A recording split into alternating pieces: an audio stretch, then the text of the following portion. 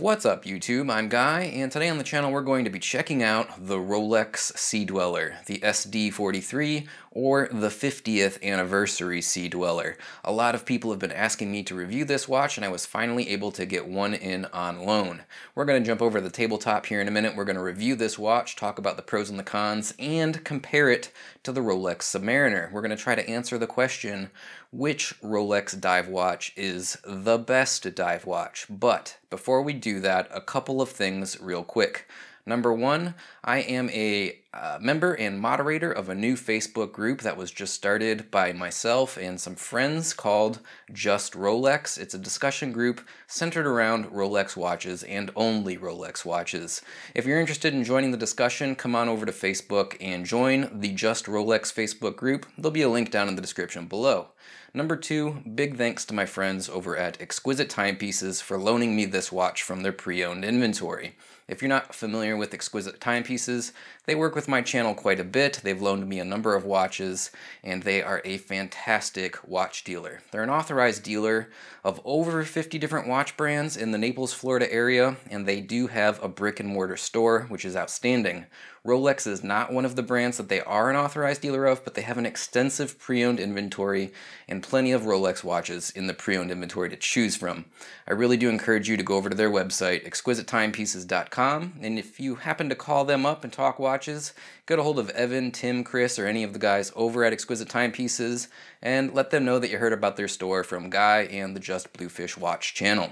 Now, without any further ado, let's dive over to the tabletop. Let's take a look at the Sea Dweller. Let's talk about the features and specifications, the pros and cons of the watch, and of course, let's compare it to the Rolex Submariner and try to decide which of the two is the best Rolex dive watch. All right, here we have it, guys. We have the Rolex Sea Dweller 126600, often referred to as the SD43 because it's a 43 millimeter case, sometimes referred to as the 50th anniversary Sea Dweller, but nevertheless, a watch with many nicknames, it is in fact the current generation ceramic Sea Dweller really happy to have had this watch here on loan to finally do a review on it. I really have been waiting a long time. I guess technically this has been on the market for two years now. And yeah, just super happy to have it here. Now, first things first, we'll go over this watch. We'll do a review of it. We'll talk about the features, the specifications. I'll give you my overall impressions of the watch by itself. But then, towards the middle of this video, we're going to compare this watch. And what are we going to compare it to? Well, of course, we're going to compare it to the Rolex Submariner. I've gotten asked many times since doing my original Submariner review videos by viewers of the channel, should I buy a Submariner or should I buy a Sea Dweller? Well, we're going to compare these two watches. I'm going to let you know what I think about them side by side in terms of both features and aesthetics and style. I'll give you my opinions on the debate between which is really the better Rolex dive watch to own or to have in a collection. But before we do that, we'll just talk about the Sea Dweller by itself for a while. Now before we jump into the features and specifications and the overall review of this watch, a little bit of history about the Sea Dweller. It was debuted in 1967 as reference number 1665, and it, that reference number ran for about a decade. After that reference number, another one came out, and then another, and then another. I'm not going to talk about all of those. What I want to talk about are the more relevant and recent versions of the Sea Dweller, and uh, kind of look at them as, you know, how they relate to this specific model. In particular, I want to talk about the 40 millimeter versions that came before this. In 1989 through 2009, we had the pre-ceramic model, reference 16600. We call it pre-ceramic because this model has a ceramic bezel on it, and the pre-ceramic models had uh, aluminum bezel inserts. Now, that pre-ceramic model that I'm talking about was a 40 millimeter case diameter watch. It was very similar, more so than this watch, to the Submariner, at least in my opinion. I think in a lot of people's opinions. Now, the funny thing about the 40 millimeter pre-ceramic Sea Dweller, A 40 millimeter Sea Dweller has been in the product catalog ever since inception, but when that watch was discontinued in 2009, there was a void. There was no 40 millimeter Sea Dweller in Rolex's product catalog. We did have the Deep Sea. The Deep Sea Sea Dweller came out in 2008 and has been in production ever since but that is a, a, much bigger, bigger watch, again at 44 millimeters in case diameter. So that void of having no standard model Sea Dweller went for about five years. Then in 2014, the reference 116600 was introduced. That was the first ceramic Sea Dweller and not a particularly popular watch. It's funny, that watch was only in production for about three years and it was discontinued in 2017. And while it didn't sell very good when it was in production, secondary or second-hand pre-owned market prices jumped significantly on that watch. I guess people recognized that it was an underloved model or reference and they expected it to be a collector's item because so few were sold over such a short uh, production run. Nevertheless, that 40 millimeter ceramic Sea Dweller was discontinued and replaced with the model that we have here today. Again, this model being reference 126 600. A couple of key big differences between this and the prior generation model are the size. This is 43 millimeters in case diameter.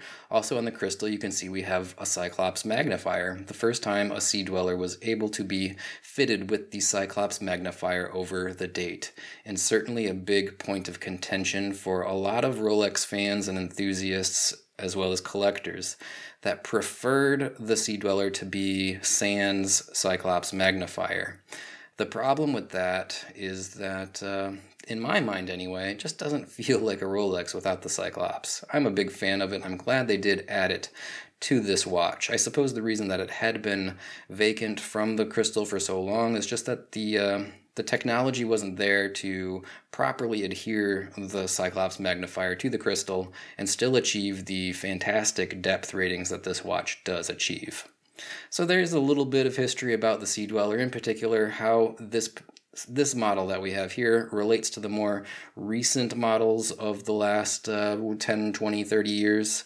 Uh, a lot of people do love this watch and they prefer it to those pre SD43 or 50th anniversary models. I'm not entirely sure for myself, but this is an impressive watch nonetheless. Let's talk features, specifications, we'll talk about the measurements on this watch. Basic stuff, of course we have sapphire crystal, we have a uh, ceramic bezel insert which is uh, platinum PVD filled with the uh, graduations and markers. We are wearing a 904L Oyster style case with a 904L matching Oyster bracelet. The bracelet terminates into the Oyster clasp, which does feature glide lock extension. We'll look at all of those things up close. We do have the trip lock crown, as you would imagine, the crown guards on the side of the case. The dial is uh, beautifully applied with uh, excuse me, Chromalight luminescence for uh, excellent uh, glow in the dark visibility. Overall, all of the features and specifications that you would expect from a professional Rolex dive watch. The first thing we're going to talk about when we talk about features on this watch will be the new movement. This watch uses the 3235 Rolex movement and the movement I think maybe technically was first introduced in Rolex solid gold or precious metal Datejust before it made it into any of their sports watches, but it is, again, a relatively new movement. It was new for this specific model in 2017. Things about the new movement that really excite people. 70 hour power reserve, that's probably the biggest tangible difference that you would notice as an end user. Prior generation 3135 movements, of course, were 48 hours. This movement is obviously 28,800 vibrations per hour of a beat rate. It's a superlative chronometer, so it should have an accuracy range of plus or minus 2 seconds per day. And as you would expect, it is an automatic winding with manual wind and, of course, stop seconds hacking. This features all of the hallmarks of a high quality Rolex movement, including the paramagnetic blue Parachrom hairspring and uh, high performance Paraflex shock absorbers within the movement. Overall, this is, in theory, an excellent movement. I'll say that I'm a little bit leery when it comes to being an early adopter of new technology. So I want to see how the new generation of movements work over the next, say, five years before I really give it my personal seal of approval and, you know, start throwing my money into these new watches. All sorts of little things can pop up.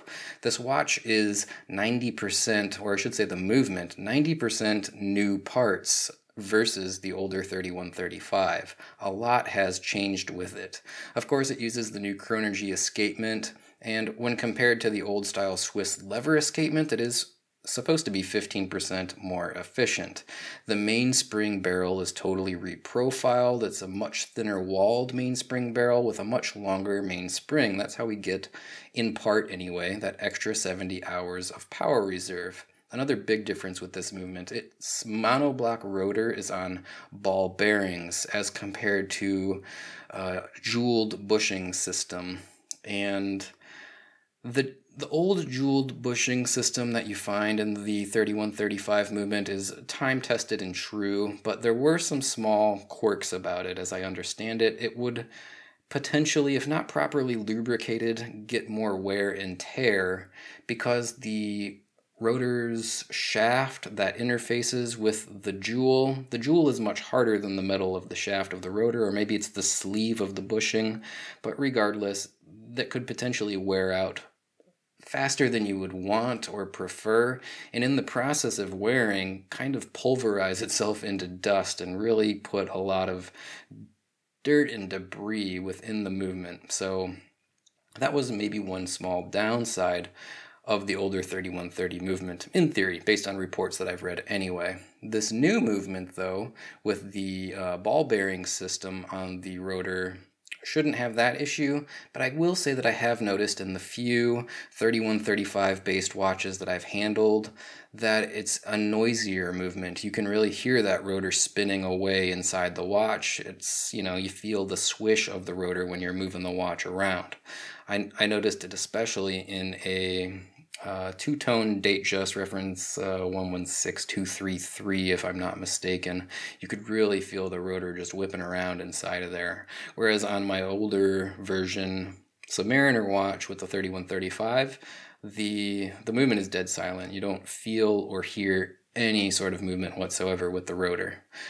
All that said, this is in theory an excellent movement. And again, after I see that it's been in implemented and you know running reliably for the majority of users that are early adopters and I expect that it will be. I'm sure that I'd be more than happy to jump into any watch with this movement. Overall dimensions of this watch. It is a pretty big watch. let's let's not uh, mince words here. Case diameter 43 millimeters in and of itself, not huge. Lots of watches come in at 42 to 44 millimeters, in particular dive watches. But we have 22 millimeter lug width where the bracelet attaches to the case. More significantly, we have a thickness that comes in at about 15 and a half millimeters thick, and you can see that case back protruding out of the mid case pretty significantly. Finally, we have a wingspan from one edge of the case to the other, from tip to tip, of 50.5 millimeters. That is a really long lug to lug width or wingspan, longer than I prefer on a watch for my six and three quarter inch wrist, if I'm being perfectly honest. So this watch wears tall on the wrist, it wears long on the wrist because of the thickness and the overall wingspan. In my opinion, I think that anyone under for sure my sized wrist, six and three quarter. I would say maybe anyone under seven inches probably should think about investing in uh, this particular model. You know, if you like bigger watches, that's one thing, that's fine. But I wouldn't buy one sight unseen without trying it on first if I was on the smaller side or spectrum of wrist sizes. It is a pretty big watch on the wrist. It has a ton of presence. Is probably the way that I would put it. A couple of other measurements I want to touch on. Well, I said that this is a 22 millimeter lug width bracelet. It tapers down pretty significantly. Down here at the bottom, the final links come in at a measurement of about 17 millimeters, and then they step up slightly on the clasp to 19 millimeters wide. I bring that up because we're going to compare the overall size and taper of the bracelet on this watch to the Submariner a little bit later in the video. Uh, but yeah, significant amount of taper on this bracelet, like pretty much all Rolex Oyster bracelets for that matter.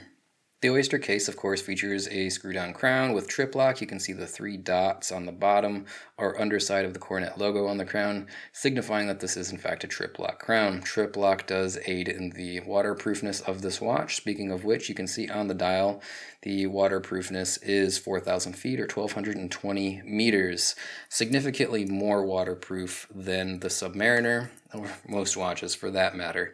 This is uh, highly depth rated. Now, the crown feels absolutely excellent. I love the knurling on Rolex crowns. The size is perfect. The crown guards don't interfere with uh, manipulating the crown. Getting it out to the first position to hand wind, super simple.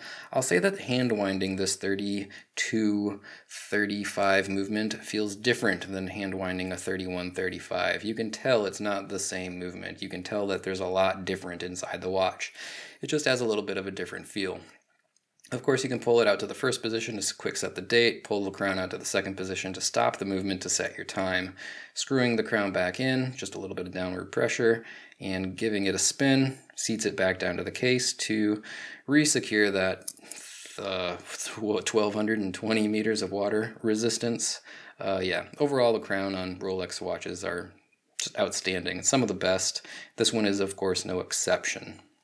And looking at the rest of the case, like I had mentioned, 904L stainless steel. The finishing is excellent, high mirrored polished on the flanks, brushing on the tops or the hoods of the lugs. Overall, excellent high quality finishing. Rolex always does their finishing well. You'll also notice that there's a helium escape valve on the uh, 9 o'clock side of the case in my opinion, a perfectly useless feature for this watch. And I know people will argue with me. I had mentioned the uselessness of the helium escape valve on the Omega Seamaster as well in my prior review. I just don't believe that there are many, and maybe even any, saturation divers that are using this type of watch for for their work. Uh, it's it's a profession. People don't saturation dive for leisure. That's not an activity that the average Joe is ever going to do. And I think a lot of people are confused with what saturation diving really is because I've had people argue with me that, oh, it's necessary if you're going to go saturation diving. Saturation diving is like living in, an, in a compressed chamber underwater for weeks and weeks at a time breathing in a mixture of oxygen and helium while you're in that compressed chamber. And then as you're being decompressed over a long period of time, it allows that helium to escape without popping your crystal out. But that's not an activity that the average Joe will ever do. I, there's probably only a handful, handful of human beings on the planet that do that activity, and I suspect that very few, if any of them, would ever wear a watch like this or a Seamaster while they were doing that job. I just don't think that we need this tool anymore. You know, it's it's just really not necessary. Now the upside is that it's not an eyesore on the flank of this case, like I feel that it is on a Omega Seamaster. On the Seamaster, you have a large protruding valve coming off of the side of the case. At least in this case, it's not an eyesore, but it is obviously an added expense that if a person generally likes this watch but is never going to use that feature, they have to pay for regardless of whether or not they're going to use it. I think, uh, you know, it's just not a feature that I really need to see in watches. And I think 99.99999% of the people, whether or not they understand it, need they, they, they probably agree with me. Is the I guess the point that I'm trying to get at. So we'll get past that. Okay, so we got the helium escape valve there. Sure, whatever. The case, though, overall, like I had mentioned, fit and finish is stunning. It's outstanding. One of the big things that I think people will probably hone in on on this Oyster case is the overall lug profile, and we're going to focus in on that a lot when we compare this to the Submariner.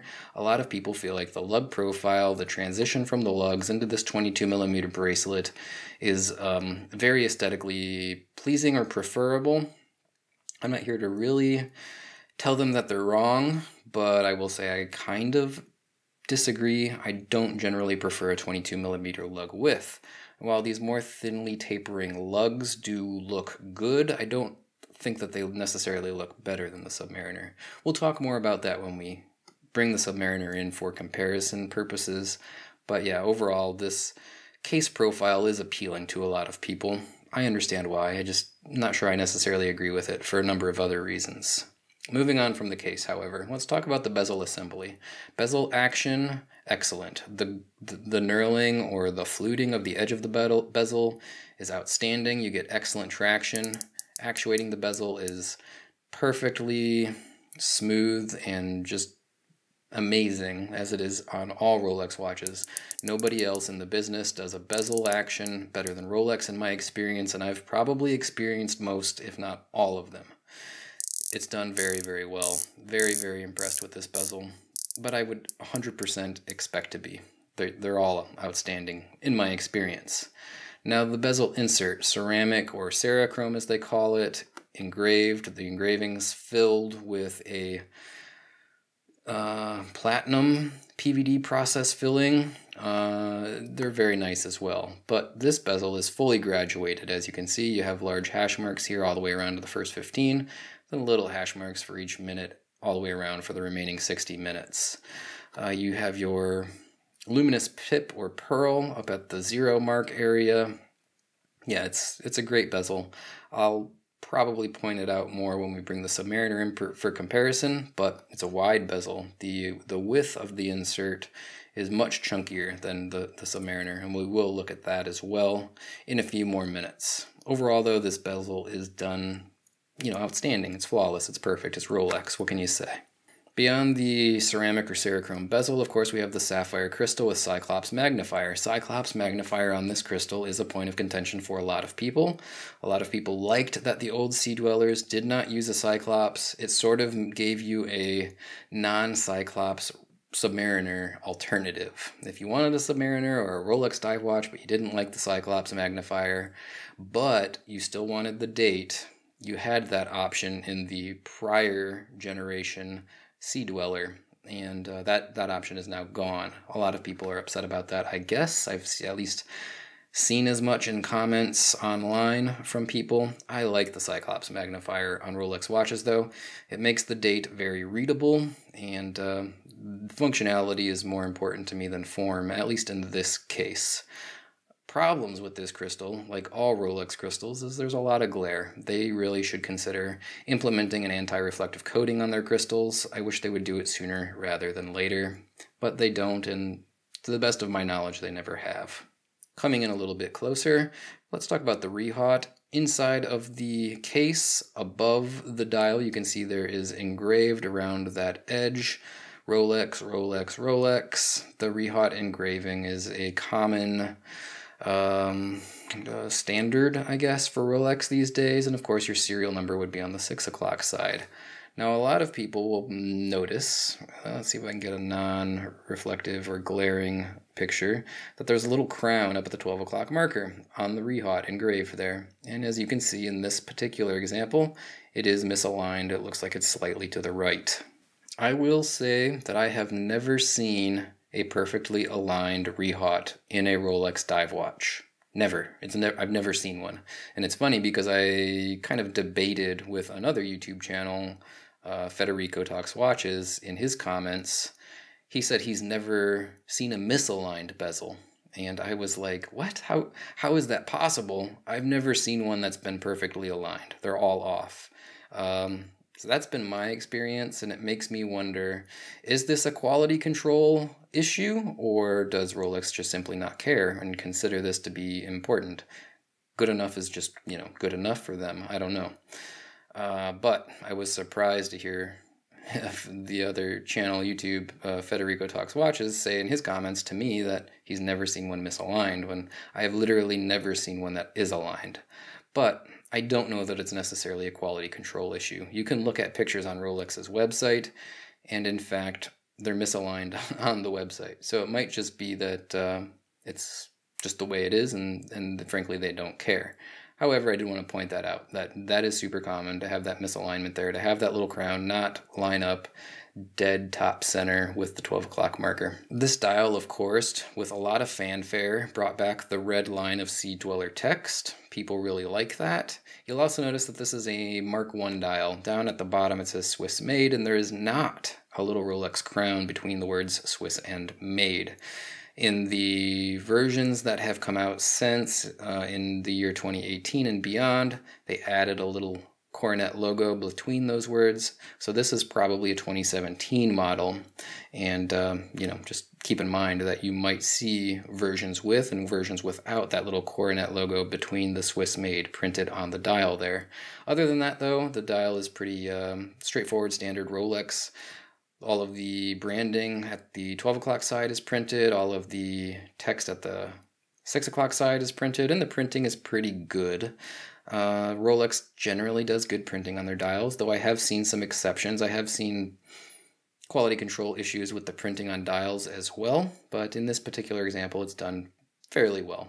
The applied markers, which are again filled with Chromalight blue luminescence, are white gold applied markers, triangle at the 12, uh, baton sticks at the 6 and 9, and then circles all around at the other positions. And of course, a nice little seconds track graduations printed on the outer edge of the dial.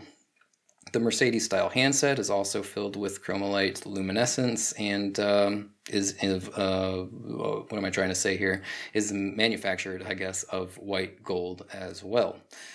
Yeah, overall, it's a fairly typical, straightforward Rolex dial. I like it. I'm a fan of Rolex dials in general, and you know, this one is no exception. Before we move on to the bracelet, we'll look at the case back. It's one of the few Rolex case backs that has any sort of uh, decoration or engravings, as you can see there. Oyster, Sea Dweller, original uh, gas escape valve, got the coronet logos. That's fairly atypical for Rolex watches. Generally, they don't have any sort of decoration or engraving on the back. One thing to note though is just how deeply that case back protrudes off of the back of the mid case and it does make the watch ride very high on the wrist. If you're the type of person that likes a watch to be flat and low to the wrist, this would not be the version for you. But, uh, you know, I don't find it to be particularly uncomfortable because of that. I find that the down downside to this watch is more to do with the overall lug to lug 50 and a half millimeter wingspan. That's a little too long for me. The, the thickness isn't a big deal. The bracelet, uh, oyster style three piece links with nice solid end links, a protruding T shaped end link. Uh, they're done great, nicely machined, very sharp, crisp edges. The bracelet links do taper fairly dramatically from 22, again, what did I say, down to uh, 17 millimeters at the very base of the bracelet, and then stepping back up to 19 on the clasp. The, the links are, of course, uh, held in with nice screws, 1.6 millimeter screws. A high quality screwdriver would be highly recommended if you're going to re, uh, resize this bracelet yourself. The clasp is an outstanding clasp. It's virtually the same clasp that you find on the Submariner. Fold over safety latch, hinged release, a nice high quality stainless steel high polished swing arm, and of course my favorite feature, you have glide lock, so you can easily adjust this clasp to the size of your wrist without any sort of tools up to 20 millimeters in increments of 2 millimeters. It also has a dive extension, which is another one of these totally useless features. I don't think that people generally are going to need this much of an extension over a wetsuit. People are not uh, diving, generally speaking, with great big thick wetsuits like this. I talked to a dive buddy of mine, as a matter of fact, and he pointed out something interesting. When you get it sized up at the surface, once you're 100 feet or more below the surface, your your neoprene wetsuit compresses, and now the watch is loose. It's flopping all over. He says that in his experience of going on probably dozens, maybe hundreds, I forget the number he told me, of dive trips. He never sees people wearing dive watches like this. It's all dive computers, and uh, features like this really don't add a lot of value to the watch. It's mostly an unnecessary addition, in uh, my my opinion, and you know my very experienced diver friend's opinion as well. Nevertheless, the bracelet on this watch is outstanding, just like a Rolex Oyster bracelet on a Submariner or a GMT or any other watch. Uh, you know, it's just fantastic. I absolutely love the Oyster bracelets on these watches. So now let's talk about which watch makes for the better Rolex dive watch. Well, first things first, let's talk about the differences, particularly in dimensions, because that's one of the first things that you probably need to understand. Case diameter on the Sea Dweller. Sea Dweller will be on the left, Submariner on the right. 43 millimeters, case diameter on the Submariner, 40 millimeters. Lug width, 22 millimeters on the Sea Dweller, 20 millimeters on the uh, Submariner. The overall thickness of these watches differs pretty significantly. On the Sea Dweller, the thickness comes in at 15.5 millimeters, whereas on the Submariner, the thickness comes in at 12.5 millimeters. And that lug-to-lug distance from one tip of the case to the other, or the watch's wingspan, on the Sea Dweller, the watch on the left, 50.5, on the Submariner, 48 millimeters. Overall, a significantly smaller watch when we, uh, or, or overall presentation or package, when we consider the Submariner uh, preferable in my opinion. But that's just a personal taste, personal preference.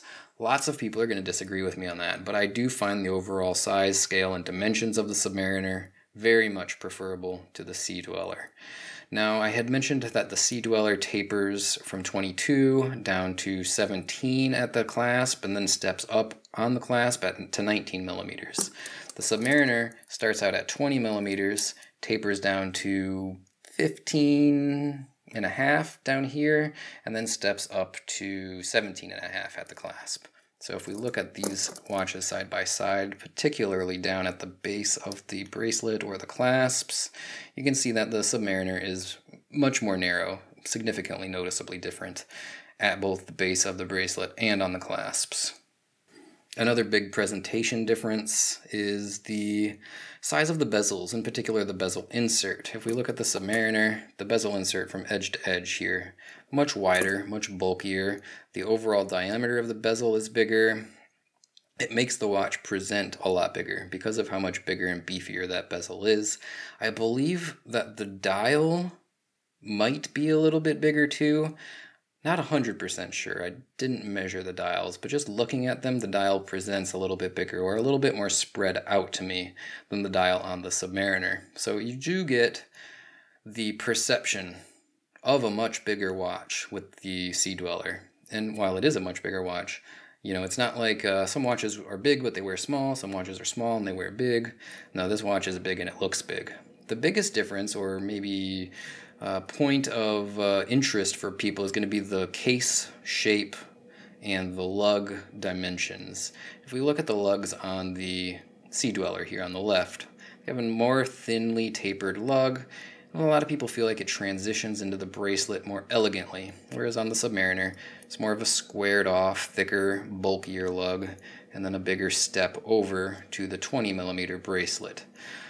I understand why people think that this is more aesthetically pleasing, and in a vacuum, I would probably agree that this might be a little bit more aesthetically pleasing, but the overall size and scale and the wearability of this watch for me makes it much less desirable. This Submariner is much more wearable for me and my six and three quarter inch wrist. Again, personal taste and preference a lot of people are going to disagree with me. A lot of people are going to find the sub, uh, Sea Dweller rather to be extremely wearable and comfortable, despite the fact that it's a relatively large watch. You know, just giving you my perspective on this. Take that for what it is.